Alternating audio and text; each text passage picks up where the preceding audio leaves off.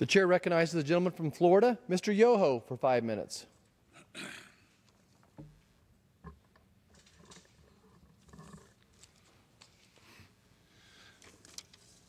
Thank you, Mr. Speaker. I rise today to honor Lieutenant James A. Mazzuchelli of Orange Park, Florida, a naval flight surgeon who passed away on February 24th as the result of a tragic accident that occurred while he was on duty. Lieutenant Mazzuchelli graduated from Clay High School in 2003, where he served in the Naval JROTC program.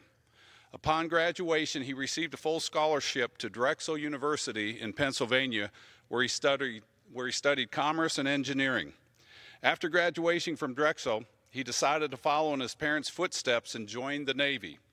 He did so while attending medical school at Lake Erie College of Osteopathic Medicine and received his Naval Officer's Commission while finishing his studies. Lieutenant Mazzuchelli served as a flight surgeon with the Marine Light Attack Helicopter Squadron 267, stationed out of Camp Pendleton, California, and was deployed to Japan as part of the Marines Unit Deployment Program in 2016. Over his seven years of service, Lieutenant Mazzuchelli provided exemplary medical care to the brave women who protect America. In fact, two weeks before his death, he completed his aircrew syllabus and received his aerial observer air, air crew wings, making him one of the very few naval doctors to have them.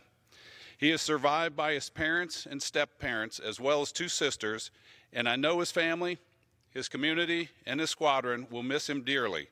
Hailed by his fellow soldiers for his enthusiasm and dedication, Lieutenant Mazzuchelli's example of leadership through service will continue to inspire others.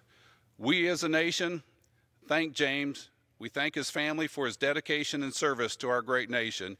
You will be missed, but not forgotten. Thank you, Mr. Speaker, and I yield back.